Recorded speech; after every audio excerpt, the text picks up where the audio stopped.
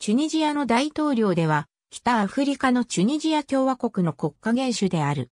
チュニジアは1956年、ムハンマド8世アルアミームを国王とする、チュニジア王国として、フランスから独立したが、翌1957年に王政が廃止され、共和制に移行した。以下の一覧には、共和制移行後の歴代大統領が記されている。大統領は国民の直接選挙で選出される。任期は5年で再選制限はない。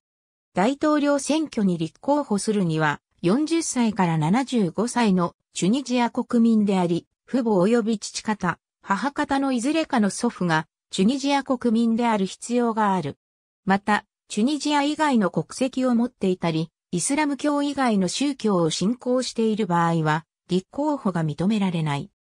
かつて大統領選挙の立候補者の年齢上限は70歳だったが、2009年の大統領選挙にザイン・アル・アービディーン、ベン・アリーが出馬できるよう、2002年の憲法改正で75歳まで引き上げられた。